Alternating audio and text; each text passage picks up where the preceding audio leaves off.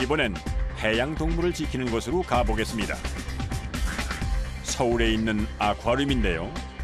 무려 축구장 다섯 개를 합쳐놓은 것 같은 넓은 공간에 5만 5천여 마리의 해양 생물을 만나볼 수 있습니다. 마치 바닷속에 들어온 착각이 들 정도인데요. 대형 수족관 앞에 있으면 좀 힐링되는 느낌이 있는 것 같아요. 물고기가 춤을 춘다고 생각하고 있어요. 저 눈 앞에서 헤엄치고 엄청 많이 막 움직이고 그러니까 되게 막 신기하고 막 재밌었어요. 2,400톤의 메인 수조 안에 수많은 물고기들의 향연. 다른 수조들까지 합하면 매일 5,000톤 이상의 물이 사용되고 있을 정도입니다. 아쿠아리움 통틀어서 650여 종이 있고 5만 5천여 마리가 함께 살고 있습니다. 하지만 수온 변화부터 청결, 먹이까지 예민한 해양 생물들을 관리하려면 많은 부분을 신경을 써야 합니다. 때문에 아쿠아리스트들은 하루에도 수십 번씩 잠수복으로 갈아입고서 물속을 오갑니다. 메인 수조에 이제 저희 아쿠아리스트들끼리 vacuum 찍는다라고 하는 청소를 할 건데요. 그런데 이건 무슨 장비일까요? 이렇게 저희가 제작한 어, 바큐um 헤드가 있고 네. 여기다 호스를 연결해서 물을 빨아서 밖으로 버릴 거예요. 청소의 편리를 위해 자체 제작한 청소 도구랍니다. 어떻게 사용하겠다는 건지 아직 감이 오질 않는데요. 어떻게 활용을 하나 볼까요? 일단 청소 도구와 호스를 연결해 진공 청소기와 같은 상태로 만듭니다. 그리고는 바닥에 통입구를 갖다 대고 모래를 긁는데요. 이렇게 하면 가라앉아 있는 이물질이 호스로 빨려 들어가게 되는 겁니다. 이 장비 덕분에 청소 시간이 제법 단축됐다고 하는군요. 모래는 무거워서 호스로 안 빨리고 모래 사이사이에 있는 이물질이나 독성 물질만 호스로 빨려서 바다, 바깥으로 버려지게 되는 거예요.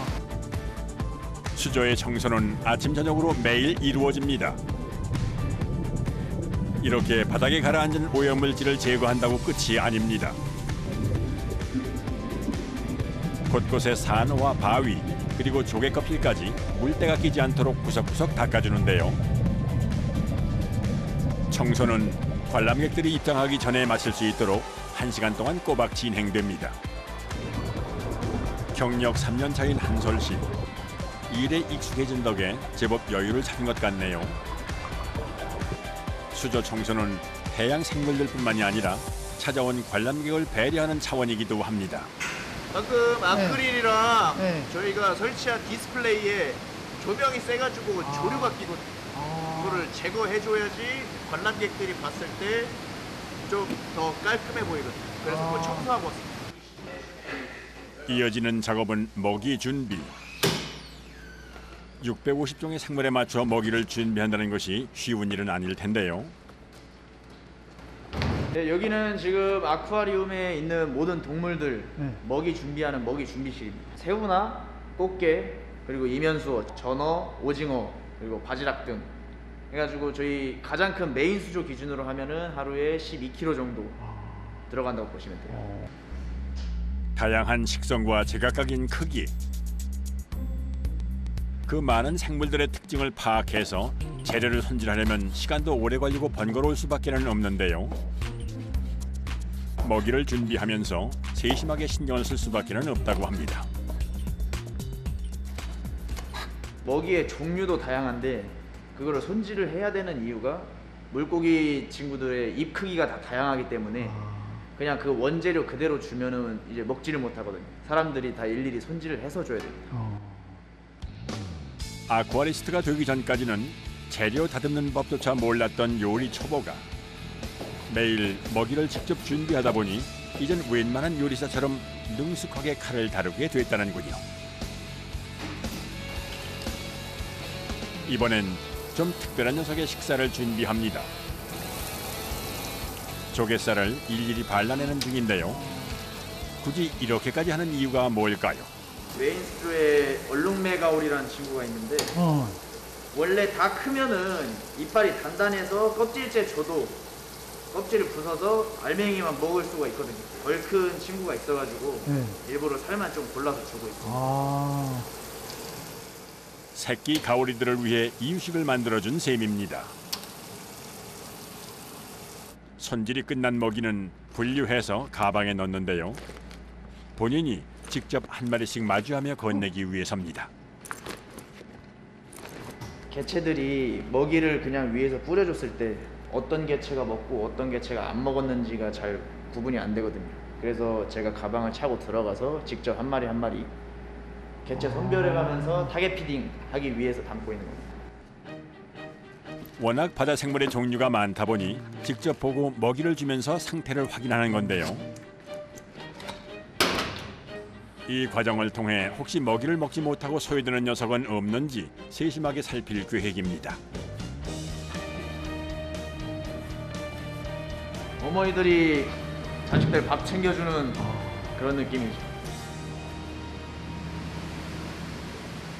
먹이를 챙겨 다시 수저 속으로 들어갈 준비가 한창인데요. 물 안팎을 계속 오가다 보면 체력 소모가 클 수밖에는 없습니다.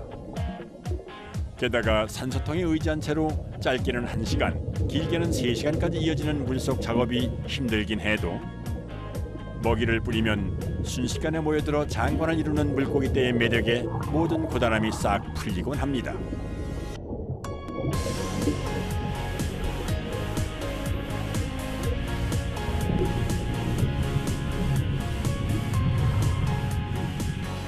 이 모습을 기다린 건 관람객도 마찬가지인데요.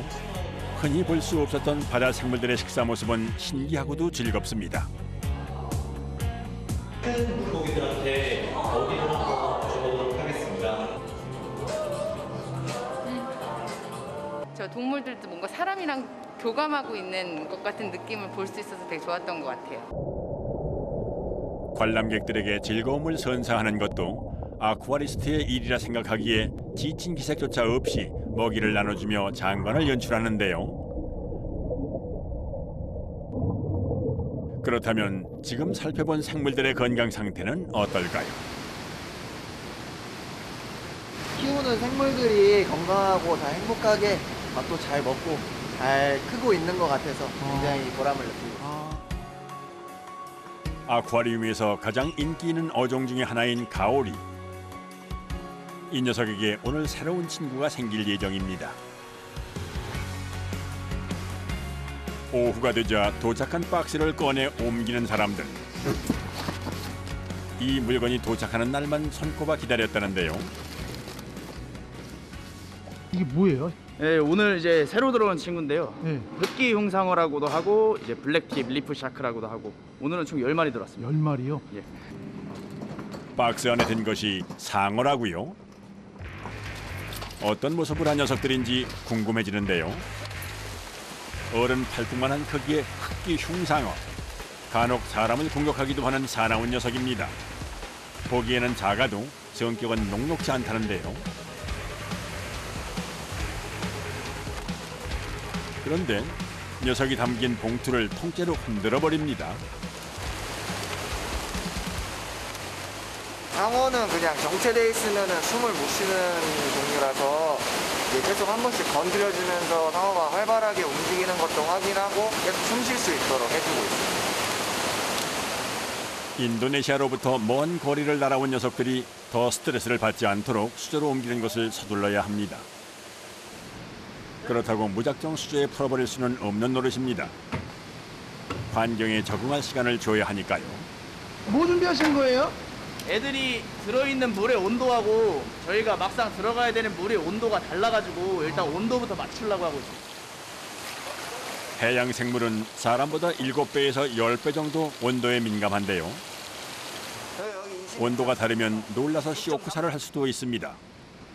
메인 수저와 비슷하게 수온을 맞춰야 녀석들이 잘 적응할 확률이 높아지는 거죠. 제일 중요하게 생각하는 게 생물 컨디션이라 가지고 온도나 수질이나 근데 이런 부분 다 신경 써가지고 최대한 스트레스 안 받게끔 저희가 노력하고 있습니다. 온도가 맞춰지면 봉투한 상어를 내보냈는데요. 드디어 좁은 공간에서 탈출한 상어. 활발하게 움직이는 걸 보니 별다른 문제는 없는 것 같습니다. 그런데 어디선가 등장한 정체불명의 가루. 이거는 기생충구제제 가루 혹시나 모를 뭐 질병이나 기생충이나 그런 거를 저희 전신수조에 넣기 전에 먼저 이제 검역하는 과정을 하고 있습니다. 물에 희석시킨 약을 조금씩 수제에 부어줍니다. 새로 들어오는 과정에서 세균을 가지고 왔을 수도 있기 때문에 질병이 퍼지는 것을 예방하기 위한 과정인데요. 이 약역 과정을 거친 상어는 메인 수조 옆에 마련된 작은 수조로 이동됩니다.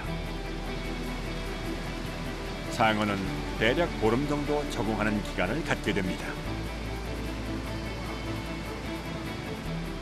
적응이 안 된 상태이기 때문에 전시수로 들어갔을 때 먹이를 안 먹을 수도 있고 다른 개체한테 공격을 받을 수도 있어서 일단 같은 물을 사용하는 격리 공간에서 적응을 충분히 시켜준 다음에 전시를 하기 위해서 적응 시- 기간을 두는 겁니다. 아, 부디 잘 적응해서 수조한 친구들과도 함께 지내며 관람객의 사랑을 듬뿍 받으면 좋겠습니다.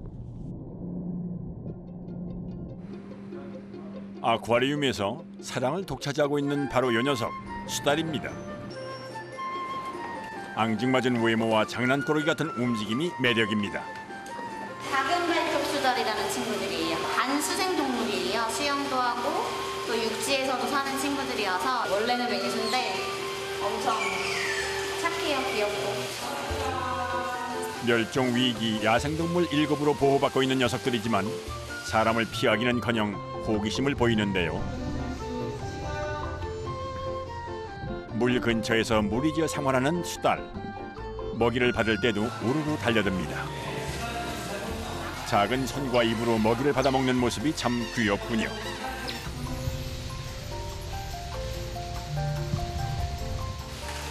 그런데 정체를 알 수 없는 물체를 나눠주는 아쿠아리스트. 드신 게 뭐예요? 아 이거 얼음인데 여기 얼음 안에 새우를 넣어놨어요. 가지고 놀다가 이제 얼음이 녹으면 새우를 꺼내 먹을 수 있게 만든 행동 홍구야. 나무도 꺾을 만큼 송곳니가 발달한 수달에게 얼음을 깨는 걸로 야생의 습성을 잃지 않게 한 겁니다. 한시도 바람잘 날아 없다는 사고뭉치 녀석들. 이번에도 뭔가 사고를 친 모양입니다.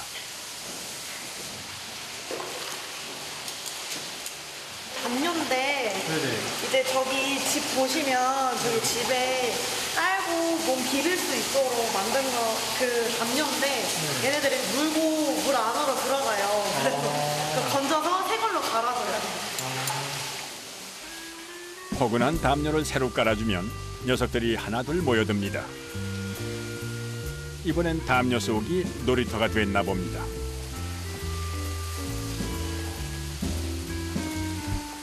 그래도 잠든 모습은 천사 같군요. 한창 청소가 진행 중인 수족관. 관람객들이 꼭 보고 가는 인기 스타의 공간입니다. 지금 여기는 저희 바다사자랑 물범들 살고 있는 수조고요. 청소해주고 있어요. 세균이 번식해서 생물들에게 염증이 생기는 등 건강 문제가 생기지 않도록 신경을 쓰는데요. 이 집의 주인 바다사자 데니스가 등장했습니다. 둘은 벌써 7년째 함께 해온 짝꿍인데요. 자,